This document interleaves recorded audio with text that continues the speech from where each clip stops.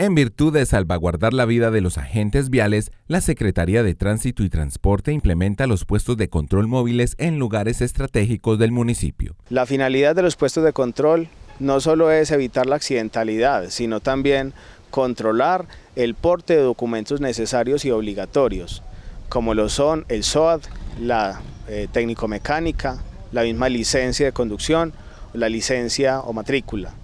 En este caso, también es cierto que se pueda la inmovilización, no solo por no portar uno de los documentos como lo es el SOAD, sino también en el caso de que la persona que esté conduciendo, digamos, una motocicleta no tenga eh, la licencia de conducción, en cuyo caso se le debe inmovilizar la moto. Sin embargo, también es cierto y debemos aclarar de que si hay la posibilidad de subsanar por parte de esta persona, de pronto llamando a un familiar, un amigo, etcétera, que tenga la licencia, nosotros no estamos inmovilizando la motocicleta. Pero hay exigencias o reglamentaciones para poderlos desarrollar en algunos casos es prudente implementar algunas medidas. Como personal operativo, sí se han presentado, digamos, algunas personas que evaden o tienen temor de algunas sanciones, entonces evaden en este caso eh, el llamado por parte del tránsito. Tengamos el acompañamiento de parte de la Policía Nacional para este tipo de controles en la vía. Ante esto, normas como la Resolución 9960 de 2002 nombra algunos de los casos en que es necesario la señalización,